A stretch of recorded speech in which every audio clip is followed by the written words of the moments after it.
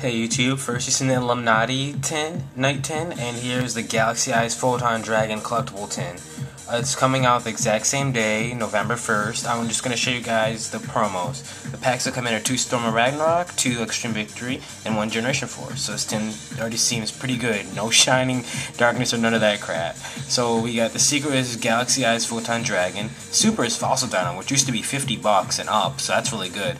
Guardian Eatos was pretty hard to get to, so that's pretty good uh, Malefic Stardust Dragon, and Solemn Warning again. So Solemn Warning is going to probably drop down in price.